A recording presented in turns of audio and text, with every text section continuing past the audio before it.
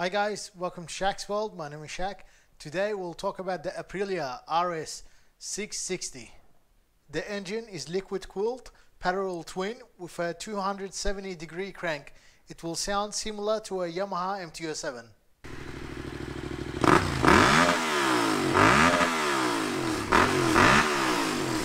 The estimated power figures should be around 100 horsepower.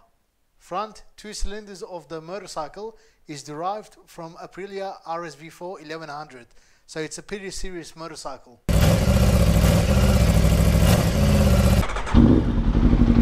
Claimed weight is around 169 kilograms dry, which is pretty light. You guys might be wondering how did they save so much weight?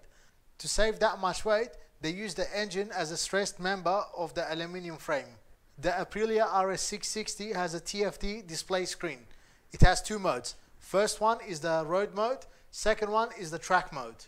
It has a 6-axis IMU, 5 riding modes, traction control, wheelie control, engine braking, cornering ABS, cruise control. It even has an up and down quick shifter, adjustable suspension. It has a front and rear Brembo calipers.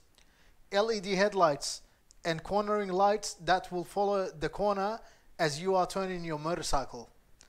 There will be two versions of this motorcycle. The first one will be a heavily restricted version that you can ride on your L's and your P's.